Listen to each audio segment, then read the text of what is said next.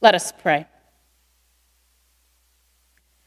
Guide us, O God, by your word and Holy Spirit, that in your light we may see light, in your truth find freedom, and in your will discover peace.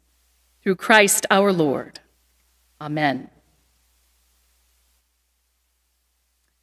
This Advent, like many other Advent seasons before, is a getting ready sort of season.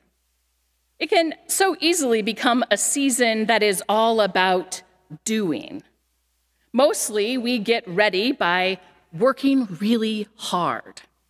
And this may be especially true this year as we anticipate a holiday celebrations that look a bit more like what we're used to before the pandemic. When the time leading up to Christmas was a time to cook and clean and decorate and study and take finals and rehearse and attend concerts and write cards and send cards and throw parties and go to parties and shop for just the right gifts for our friends and family. But there is a common understanding among us that this is a very busy time.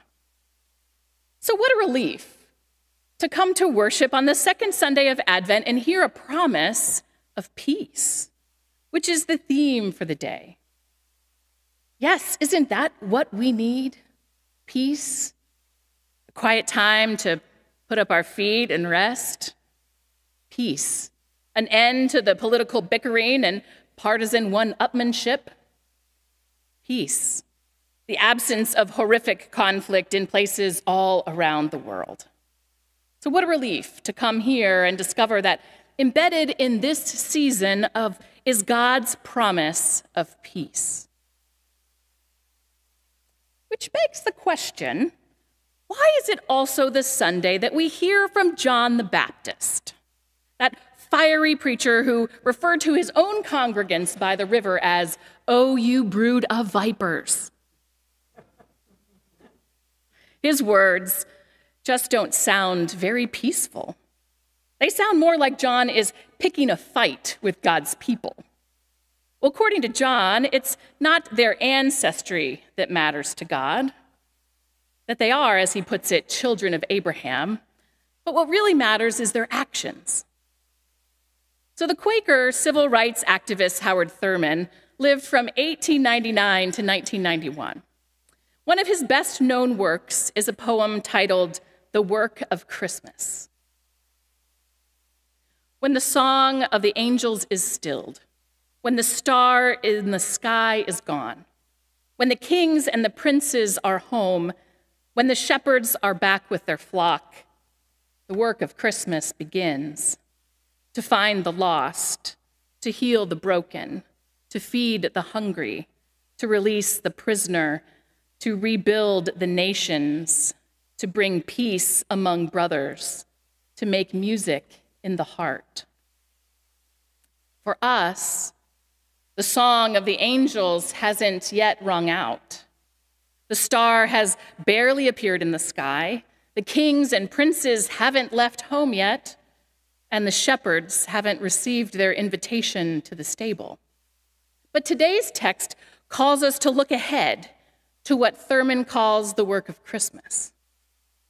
Apparently, getting ready for Christmas is not the most important work. Getting ready for Christmas is not the most important work because Christmas is not the goal. It is merely the next stage in the ongoing transformation God wants for the world. For all the ways God calls our lives to more clearly reflect God's love and mercy.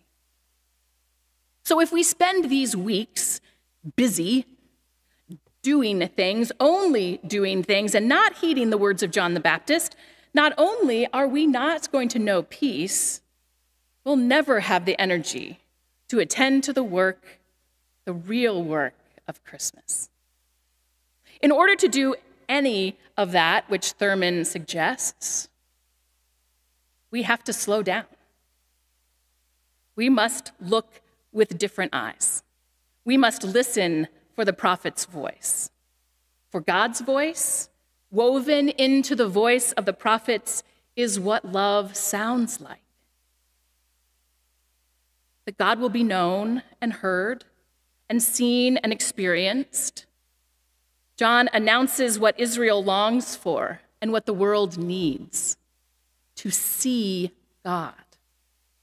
And indeed, the world itself will make room for its creator. All that has obstructed the sight of God will be removed. Today, both Isaiah and John the Baptist remind us that preparing a way for God requires some rebalancing, as Isaiah puts it. Every valley shall be lifted up, every mountain and hill made low. The uneven ground shall become level, and the rough places a plain. All will angle toward the divine life present in the world. John the Baptist says it a little differently, but he's telling us a similar message to look at where our lives are out of balance, to make adjustments, to figure out when we have done too much, or taken too much, or acquired too much, or said too much, and to know that we can stop doing, that we can give away, that we can make do with less, and we can listen instead of speak. And we can take small but meaningful actions that impact the challenges of our time.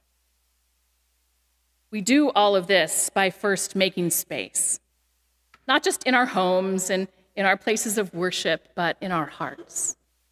Space where Christ might come and dwell and bring us to the very peace for which we desperately long.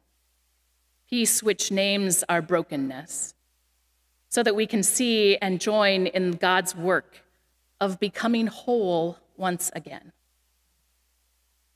Steve Garnaas Holmes reflects on this in his poem, Prepare the Way.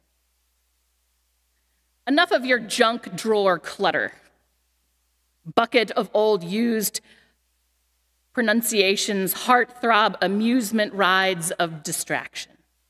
Prayer is a snow shovel. You plow it all aside, all of it. Clear a space. Admit it. Your heart is a hoarder Clean out your piety's basement.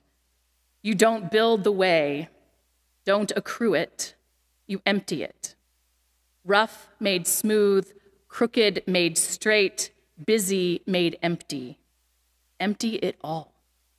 Silence the noise, the chorus, the committee, the crowd. The empty place is not long, stretching away. It's just right there around you a circle of light, empty air, silence.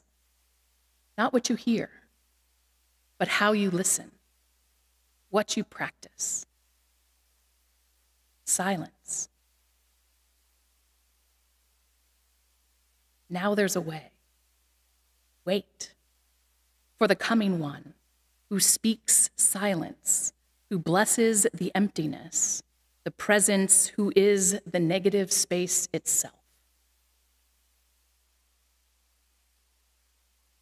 There'll be no need for an alternative route to God, no need for more maps to the divine, because God came to us, clarified the way, and sharpened the view.